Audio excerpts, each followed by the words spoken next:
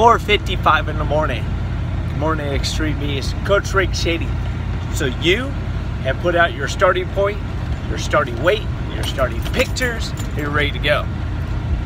I'm on my way to Lifetime Fitness. And I'm thinking about our starting points and how we are getting results.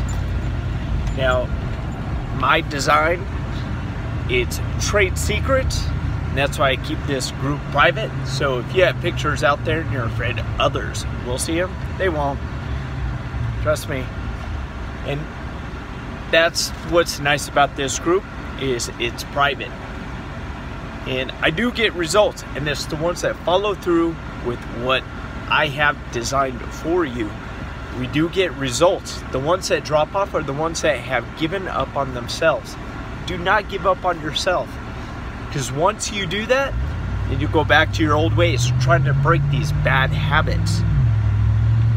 In my system, it's designed for you to absolutely transform, get into a different shape, mostly mentally. And that's all it is, is designing mentally. Because if you think about it, it's your body designing your metabolism for your body. These people that have gained so much weight that there's no return, it's because they let their mind get to them. It's that delicious food. They keep cramming in this hole. But we're gonna change these ways, we're gonna change these habits forever. So your body fat can be below 10%, your muscle can be 45%, and you'll be able to function doing these movements biomechanically with no problem. So that's what it's designed for. We're about ready to hit 28 days of boot camp. It starts on Monday. So be ready. It's very simple, but it's discipline. It's teaching yourself discipline through my design. So think about that. So it is Friday or Thursday and tomorrow Friday.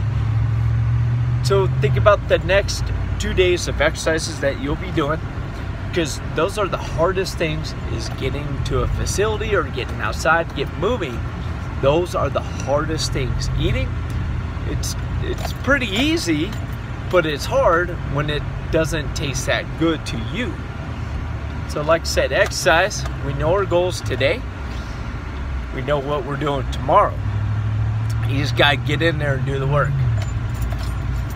so today I want you to concentrate on your workout. Think about the four elements I talked about, how to do the workout.